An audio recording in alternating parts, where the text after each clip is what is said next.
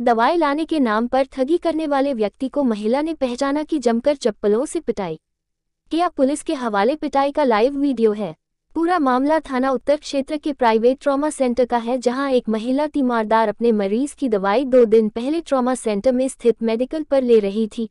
तभी वहाँ एक व्यक्ति महिला के पास पहुँचा कि भीड़ हो रही है। मैं आपकी दवाई ले आता हूँ और महिला से छह सौ रुपये लेकर मेडिकल की विंडो पर पहुँचा और वहाँ से फरार हो गया। आज दो दिन बाद फिर वह महिला दवा लेने आई तो ठगी करने वाला व्यक्ति प्राइवेट ट्रॉमा सेंटर पहुँचा तो महिला ने उसे पहचान लिया और उसकी पकड़कर चप्पलों से जमकर पिटाई की और वही पिटाई की खबर से पुलिस पहुँच गई और ठगी करने वाले व्यक्ति को थाने ले गई।